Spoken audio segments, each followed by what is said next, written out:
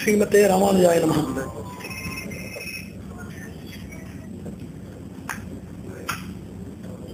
we see the world which is full of imbalances and also realize our responsibility to balance the abnormities and cleavages of the world with our continuous and sensational effort. To be different and divided is the nature of the world and nature of a civilized man and community is to level up these imbalances and to create harmony and unity in the society. And in this act there are three persons who are responsible for that. We used to call it in the act of charity as triple G. The first G is known as the God who is the ultimate responsible agent for that. Second thing is the government which should take care of the society and equality of the society by all means. And third thing is a good-hearted person who should create a proper government as well as environment inside the society and provoke God inside himself to see that the world is balanced. So God, government and a good-hearted community, this combines and prepares a system of triad which is known as triple G which makes the society to get into equality. And after the government, we are having a responsibility as NGOs, we used to call non-governmental organizations. But we used to define it in a different sense. They are known as nano-governmental organizations. Oh. A government which is a federation of very few powerful agencies trampling on the heads of the other people is always dangerous to the society. That should be checks and balances by innumerable units of nano frequencies that exist in each and every non-governmental unit. We used to call it as also neo-governmental organization. Apart from the system of democracy or any other political institutionalization which forms a government, there are innumerable neo-governments. That is, there are lot of governments that are appearing new fashion of social responsibility, mutuality, understanding and removing of friction and promotion of fraternity for common identity and social security and development. So we used to call NGOs as nano-government units and neo-government units more than that of non-governmental units. They are not non-governmental, they are the same governmental units in the disguise of a social platform or social uniform. So this is what we call the NGO, what we define here. So NGOs have three major things. Any NGO just promoting the society is overruling or violating the rules of NGO. It is a duty of the government to take care of the society. Any NGO should be having the primary duty of demanding the government that taxes act and that success and get its own self-development and dynastic development. So the immediate responsibility of any NGO is to see that the government and its funds, the persons elected with promises, with pseudo-promises and pre-supplantations, they are squeezed and crushed with a net by a democratic push and pull so that they implement their duties in the society with fear and more liability towards answering the public response. So first is to create a demand of getting the government done all of its own responsible and liable activities. Second is to join with the government. Third is a wonderful right. If an NGO cannot see the government where it can demand or join and work with, immediately the government should be deorganized and reorganized in a super standard structure by means of which there can be a collateral and compatible bondage between society, NGOs and government ask from the government. If there is any unavoidable reasons, join with the government. If the government cannot be either joined nor demanded, such a government should be reconstituted by the democratic will of NGOs by kindling the awareness and consensus of the public. So this is what we call NGO and we have wider responsibilities to cover and we are having a very slow journey. Hope that we will reach it within a decade and do something wonderful. And innumerable NGOs are there. You know that now more than the public population, NGO population is more. Somebody they have created a very great research competing with the number of qualitative enrichment is different. Quantitatively, innumerable people are there. So we have HelpAge India, the Indian Promotion Council is there, South Asian Development, it is being done. Innumerable people nowadays are patient for everybody to have a foundation.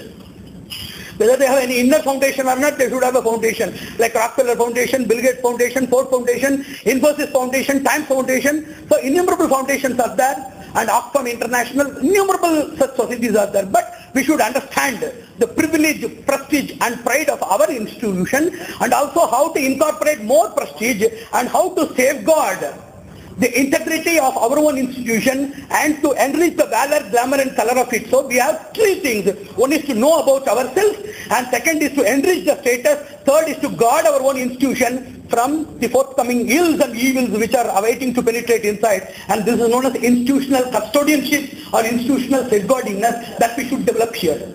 And you know that there is a system which we call active benevolence. Everybody has mercy inside.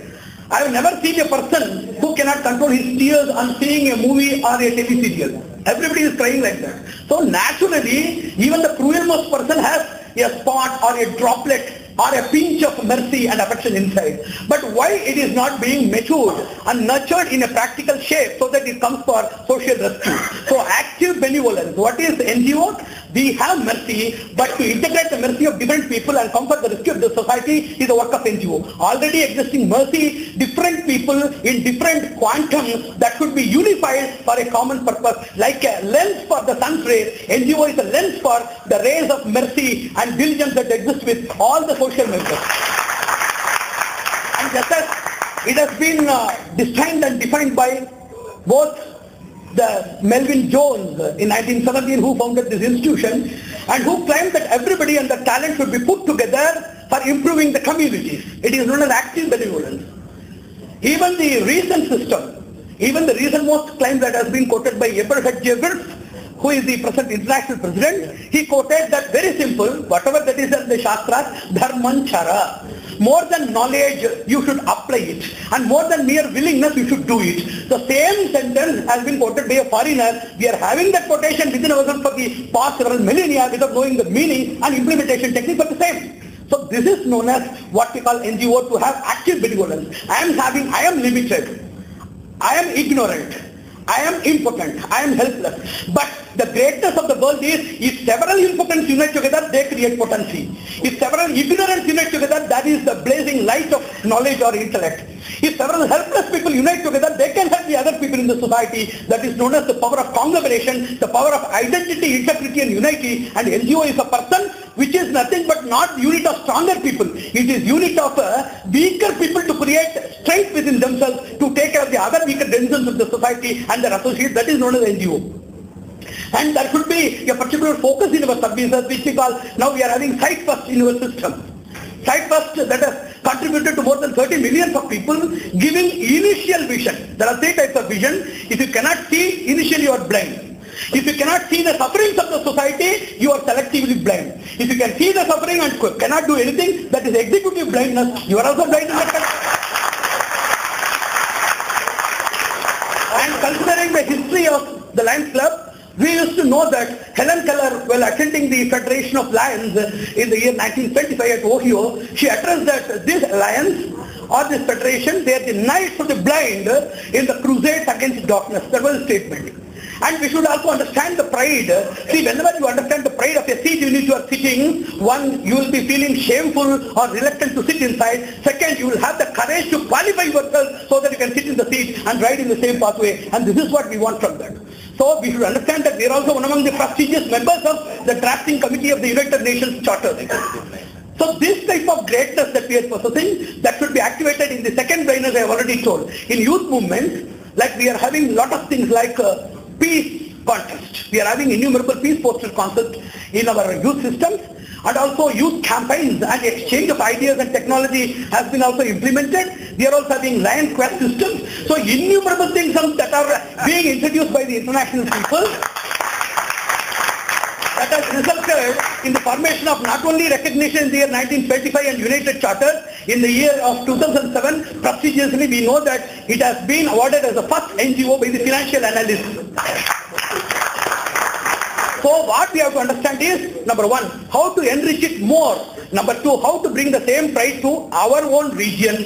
Three, how to work with other talents. I always want to say for Indian NGOs like Lions that you have to get the technology and valor of the West and you have to get the culture and integrity of the East. So complete Indianization in NGOs like Lions is impossible and unnecessary and complete westernization is very dangerous and it is very disruptive to that of our own identity of our culture and heritage. So it is the duty of each and every person governing that council to establish the greatness of our culture and deal with how it can be done. And coming to the conclusion, I want to say each and everything, each and everything or any institution is governed with five components. One is the area where we work. We cannot simultaneously work in all areas. Area where we work, what we need or the society needs, what is the social literacy or response from the mindset of the people, what is the political rule and the political collaboration or cooperation possible. Fifth is leadership qualities. If your person is a capable leader, he can work even in a desert. Even amidst an